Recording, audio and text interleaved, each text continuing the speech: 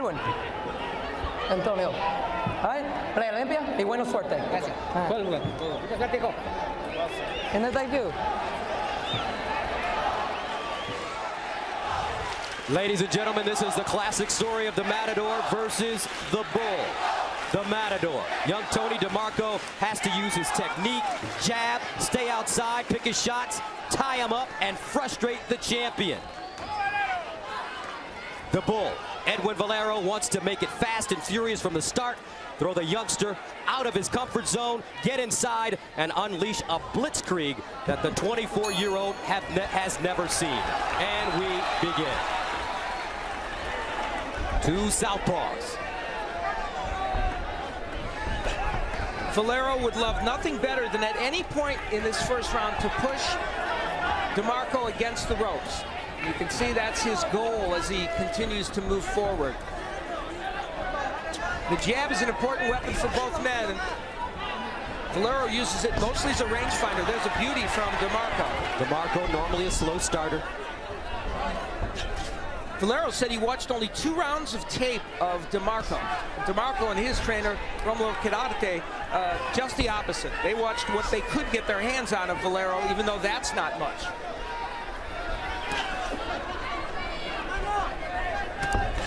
Valero told us that he wasn't going to think about just swarming uh, DeMarco early, that he'd rather just take his time and do what he needed to do, and the big punches would come.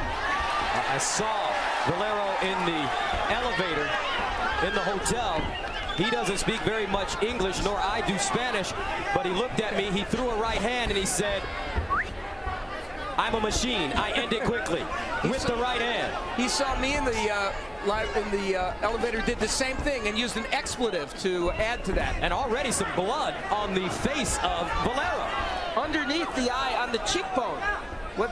I guess that came from a punch. I don't know. May have come from that stiff jab delivered by DeMarco at the very beginning. And that's what Valero wants to do when he gets DeMarco on the ropes, throw a lot of punches.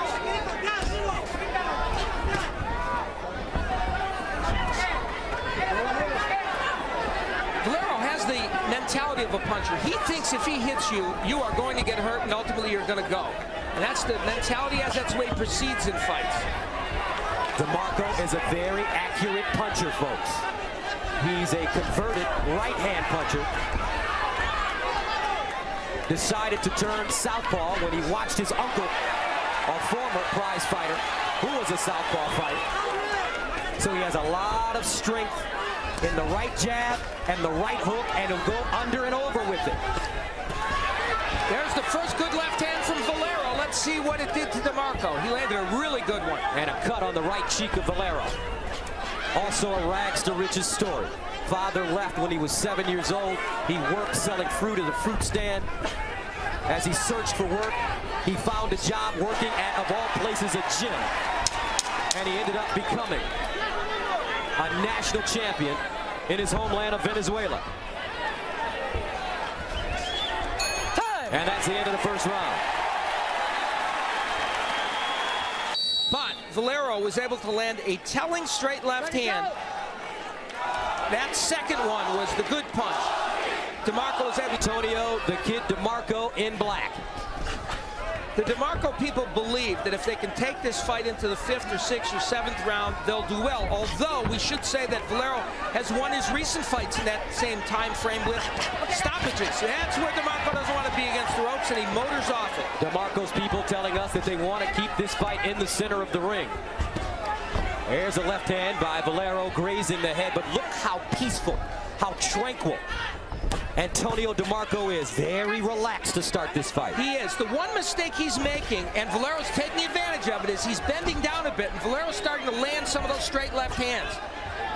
As when DeMarco bends in, that's a big mistake, and Valero's got the power with that straight left. He's just like a like a freight train with that left hand. He's always got an eye toward throwing it. I'll say it again, DeMarco a slow starter. He'll pick his shots but he really turns his punches over, and sometimes they come out of nowhere. You know, Valero's throwing uh, some good combinations. That was a great jab by DeMarco. Valero is a good combination puncher when he employs that, and he's doing it in spots here tonight. Valero with both hands down, Valero saying that he caught an elbow. Now he's got a gash over his right Yeah, head. that didn't come from a punch. I guarantee you that. Don't forget the doctor. I'm gonna see. Wow. Yeah. That is a major Oh my. gash. Yeah, there's no way a punch caused that. How about, how about, hey, doctor, where's the doctor? Take a look at it. Doctor. Juan Francisco Arenas is the ringside doctor, and that is ugly. He may not be able to continue. No. Whoa, look at that gut. Yeah.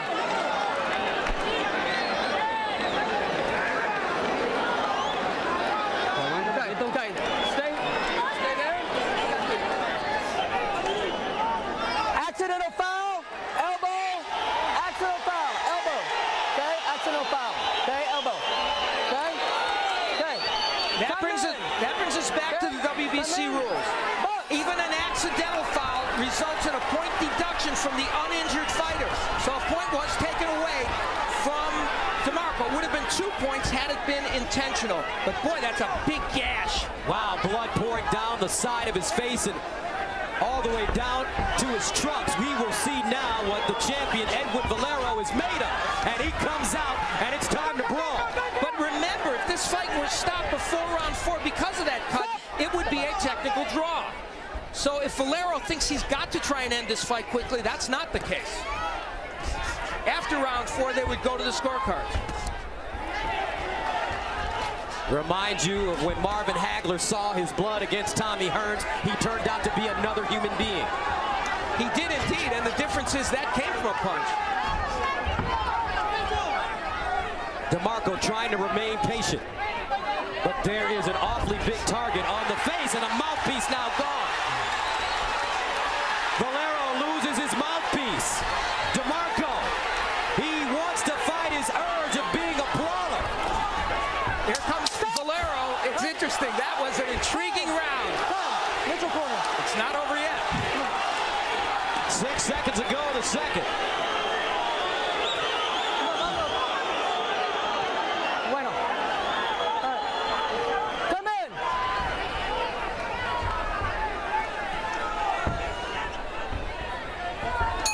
And that's the end of the round. The forehead. The right hand was there, and there comes the elbow.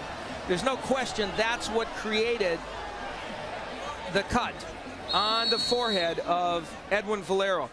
Wow, that's a rough one. But the interesting thing is that later on in the round, Valero would lose his mouthpiece and have to fight a long time. That left hand got there. More dangerous over the right eye.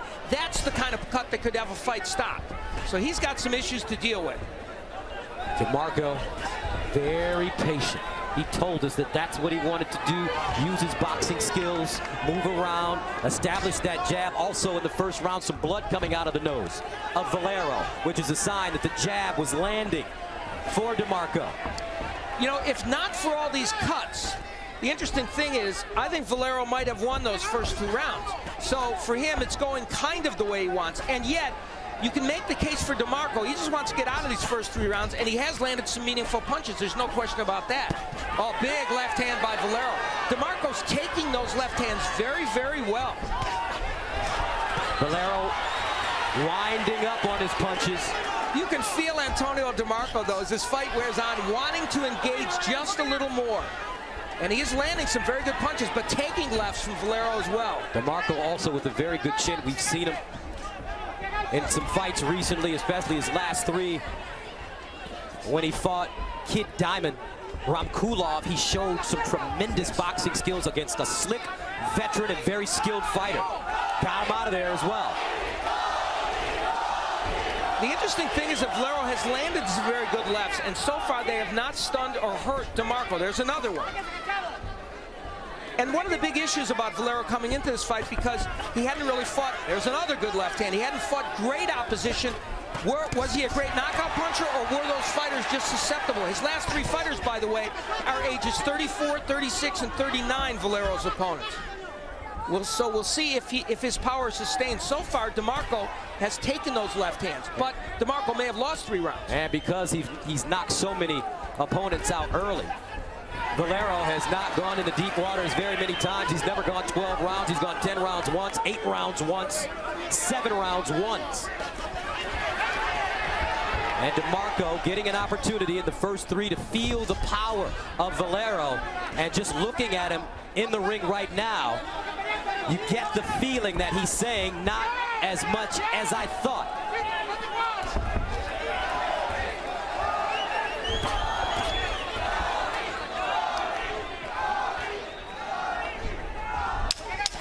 Still coming out of the gash on the right eye of the champion.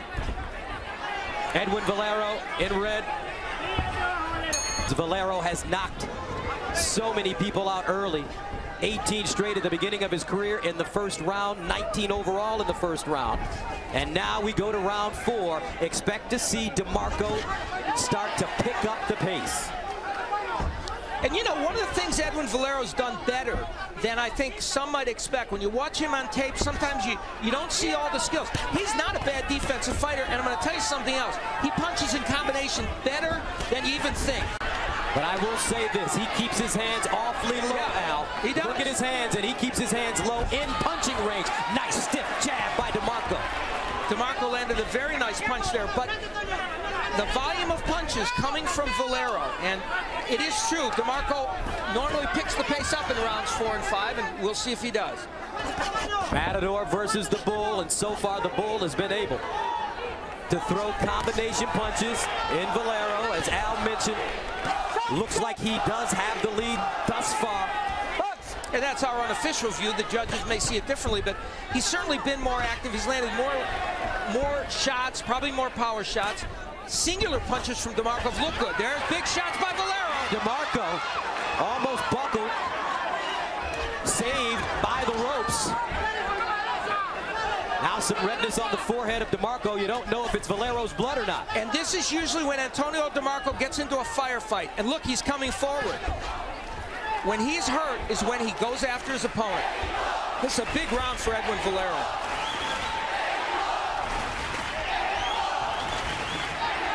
And give Valero credit. He's fighting with a monstrous gash on his forehead and a slight cut on his right eye.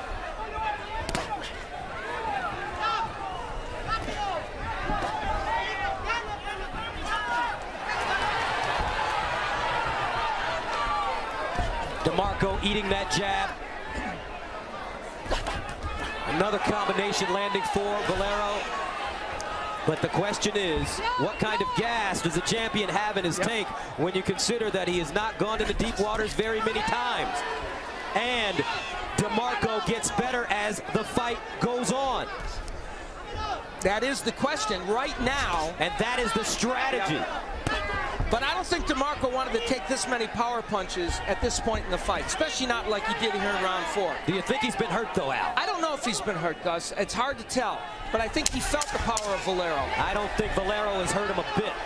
I think he's walked through it, in my opinion, Al, and he's setting him up to make a serious run as this fight goes on. There's a left hand. Early on in the round, would get that strong jab in, though he did take a left hand over it in the process. And Valero getting a couple of shots in. Valero, though, had very good moments in this round. And you see how well he uses his jab to set up these power punches. Now, but DeMarco was able to take those shots. That means he's tired already, and we're in the fifth round. And they're banking on that. They feel these middle rounds, and as we get into the later rounds, will be good for them. Now, we have to see if that's the case. Quirarte, of course, a great trainer, worked with Julio Cesar Chavez, worked with Raul Jibaro Perez, who happens to be the father-in-law, interestingly, of Antonio DeMarco, former bantamweight champion. And let's take a look at the official judges' scoring. As we anticipated, an, a big edge for Valero. Two judges with it 39-36, and Orange Schellenberger has it 40-35, so they have a pretty big margin. And remember, a point was deducted. Now here, the rest row, which has made the scoring a lot closer all night. Uh, two for Valero, and Mark Walsh from AP has it a draw, interestingly. I have every round for Valero. Valero's mouth open again. So, I have it 40-35.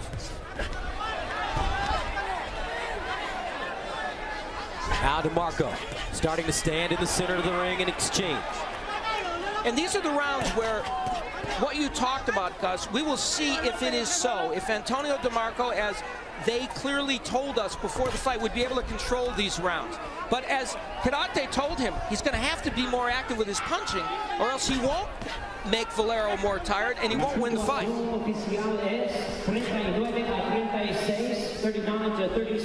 The crowd being informed of the scoring as we speak.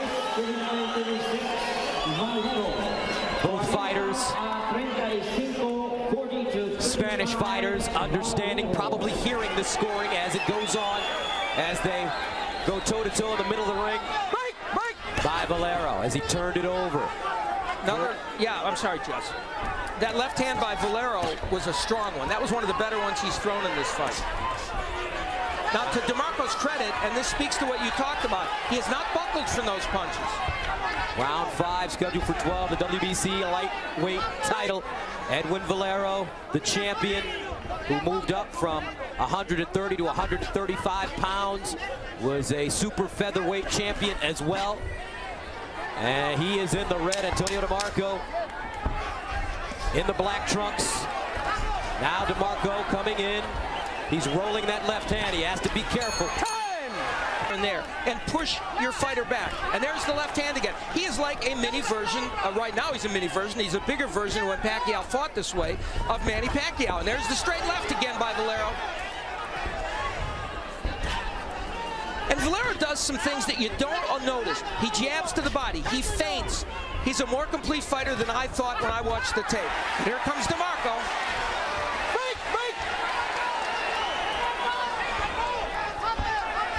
DeMarco's going to have to get a little more aggressive at, at some point in this fight. Take the chance.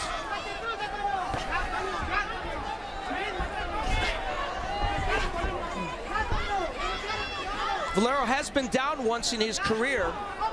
He was put down as a junior lightweight, but he's certainly never been stopped.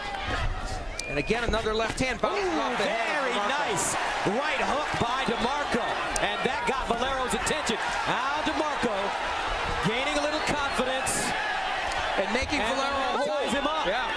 And that is a sign. Valero felt that punch. He felt the right hook and the straight left hand of DeMarco. Those are the first good body shots landed in a long time by either fighter. DeMarco has to get to the point where he really starts to let his hands go. And that's the question sometimes when a trainer, Romulo Quirarte, wants to make sure that his fighter fights technically, but at the same time, you sometimes take away some of his raw and natural instincts. For DeMarco, he doesn't want to wait too late. Well, he's dug a monstrous hole for himself. This round has been won by Valero as well, despite the two good punches that DeMarco landed. Valero has dominated the round. Edwin Valero landing yet another straight left hand, although DeMarco countered it very well with a with a right hook. And that's what um, DeMarco really wants to do. And that right hook, which we talked about in the keys to victory, will get in for DeMarco. That's his best punch, and he lands. Round seven, scheduled for 12 for the WBC lightweight title. Edwin Valero, the champion, running away with it right now in red. Antonio DeMarco, to chat. the challenger, has to start letting his hands go. He's going backwards. He needs to start moving forward. Valero finding him again with that short, looping left hand. He told me during our meeting that his right hand is stronger. And you know, Valero is doing all the little things in this fight. Doubling with the jab, feinting to the body, throwing combinations, all the things that not everybody thought he would do throughout a fight against a good fighter. That's exactly what he's doing. So that's why he's winning every single one of these rounds, or most of them. Right now, DeMarco looking like a, just an ABC fighter. No special effects, no, no urgency. That's a very good way to put it, yeah. Kind of generic, if yes. you will. Yeah, and you know, we've seen him perform very well. But again, oh, nice hook by uh, DeMarco. That's what he's got to land. But again, we have not seen him against this caliber fighter. Valero continuing to come in, setting him up. He wants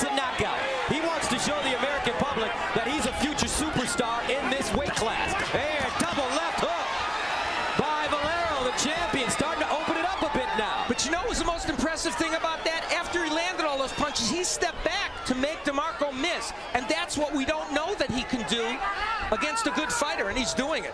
Early in his career, Valero was known as a fighter that had incredible boxing skills, not just a brawler. They said he was like water with his hand speed and also with his footwork. He told us in our meeting yesterday that he can do that if need be, and we've seen him do Yeah, it I this evening. Absolutely, Gus. I didn't see it on the tapes. You see it tonight. There's all the subtleties. He's still not the greatest defensive fighter on the planet and can't be hit, but it's hard to hit a guy when he throws an eight-punch combination like that, and they're pretty accurate. And nothing in return from Antonio DeMarco. You wonder if he's confused. Because Valero throws a lot of punches from weird angles. DeMarco missing. Oh, look at the quickness and the slickness of Edwin Valero. He's showing that he's a boxer.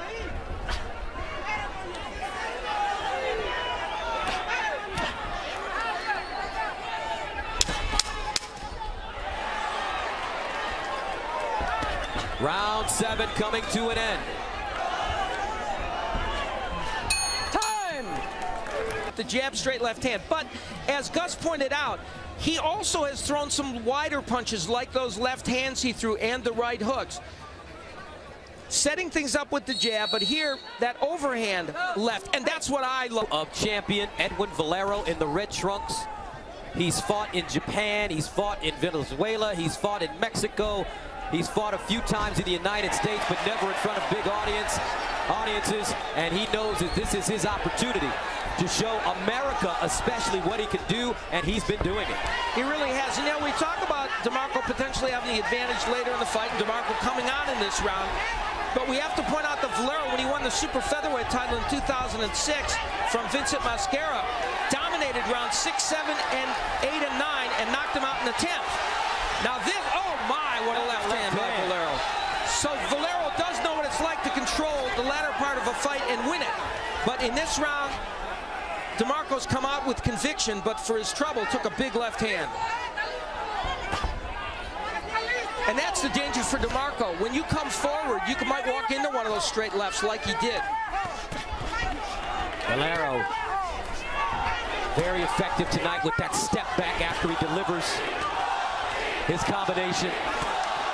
And he's also, because of his slick fighting, taken the crowd out of this fight. Oh, knee. Left hand. There's another one. Now Valero starting to pick apart the 24-year-old DeMarco. DeMarco landing a right hook. DeMarco needs to turn this around with a monstrous right hook, and that'll be what does it if he can. And that's what he needs right now very badly. And like Manny Pacquiao, though, Al Valero throwing so many punches in combination from different angles, from different hand placement. You know, I said he was the old Manny Pacquiao. Right. He's a little more straightforward, Exactly. one-dimensional. But he's actually a combination of the old and new Manny That's Pacquiao right. because he's throwing, although certainly he's not as good a fighter as Pacquiao right now. No one is. Maybe Floyd Mayweather. But the fact of the matter is, he is showing all those nuances. Maybe Floyd Mayweather. Well, or, or potentially. No doubt. Well, that's the big Let's debate, isn't it? Manny Pacquiao is as good as Floyd Mayweather. That's my contention. okay, there you go. Floyd has never lost. I have great respect for Floyd. He's a terrific fighter. He's hasn't been as active as Pacquiao. Eight rounds scheduled for 12. 17 seconds to go. Ooh, low blow by DeMarco. He's getting wild now. He is taking a beating in there. Although it looks like Valero is the fighter that has actually taken the beating, but he is too Squash from AP with it a little closer for Valero. Valero now moving in. He told us that he wouldn't go looking for the knockout, but he wants it. And this is a point in the fight, though, where even though DeMarco had the look of a really beaten fighter in that corner, for Valero, there's still danger to get hit with a right hook, but he is landing big shots. DeMarco eating shot after shot. That left hand is vicious. Now he goes to the body, comes over to the top, barely misses with the left hand. If this round goes really badly for Antonio DeMarco, Romulo Quirarte, who is as close as you can be to a fighter and maybe like a second father to DeMarco, uh, might think about ending this thing. I agree with you 100%. Quirarte kept asking Tony what he wanted to do, how he felt, no answer. Most of the time during that one-minute break. And there was talk in DeMarco's corner that if he didn't get busier, they were going to stop the fight. Nice straight left hand by DeMarco, but it's one and done when he throws punches. Valero, so slick. And I think we need to put the rest this, this to rest the idea that Valero can't fight in the later rounds, as he did against Mosquera when he dominated six, seven, eight, and nine. That's what he's done in this fight. Ooh, another good combination by Valero. Ooh, one, two stiff as he steps off. Dips in, dips out. Great head movement. Chopping up the younger DeMarco. No answers for DeMarco right now. Knows that he's trailing the fight and he won't move forward. DeMarco and his people, oh, monstrous left by Valero. They asked for Valero. They wanted to fight him. They thought the style of DeMarco would lend itself to beating Valero. Like a lot of other people, I think they underestimated some of the skills of Valero. Seven seconds ago in the ninth round, scheduled for 12. Now Tony DeMarco, mouth open, tired. Uh, looked like this fight could turn because this unintentional elbow, we assume unintentional, that was the way it was called, hit uh, Valero on the forehead and caused that terrible gash. At that juncture, and he was making sure Laurence Cole knew it was an elbow, though any look at that cut would tell you on the forehead it had to be caused by something other than a cut. Valero, though, kept his concentration and came back and landed big punches to show DeMarco that that had not taken him out of his game plan and that Valero was going to continue the assault. Great defense as he stops young Tony DeMarco and retains his WBC lightweight title. A very disappointing for the, loss for this 24-year-old. Not the end of his boxing career by any stretch of the imagination, but for this man, he made a marketing statement tonight to tell the world, you haven't seen me, here I am. I am someone to be reckoned with in the lightweight division, and boy is he ever. 27 and 0. 27 consecutive stoppages as Tony DeMarco retires on his stool, unable to come out for round 10. And Al, you said it. If he wouldn't have performed well in that ninth round, you knew that they were going to stop this fight. As you take a look once again at the beautiful family of the champion, Edwin Valero. And Carolina, uh, cautiously happy it seems there she watches what goes on. But exactly, they, they did stop the fight, and I think appropriately so. Too much experience, too much talent and skill tonight as Edwin Valero basically give Tony DeMarco a good old-fashioned whooping in the ring.